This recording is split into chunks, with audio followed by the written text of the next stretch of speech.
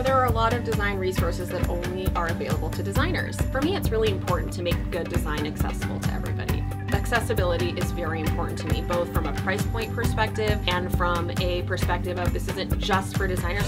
If you're interested in bringing some of my vibe into your home, Calico is certainly one of the best places to come and get it. There are so many things that I think are so valuable about shopping Calico. The selection that you get here is not like anything you get anywhere else. You can come in here, you can get fabric, you can recover something old, you can get something completely new. You can get custom pieces made in the fabrics of your choice. It really allows you to be the designer and take the reins and really create something that fits with you perfectly.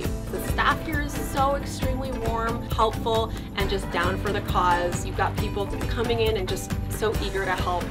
There's a certain amount of fear that can go into designing your home. People are a little bit afraid to make bold choices sometimes.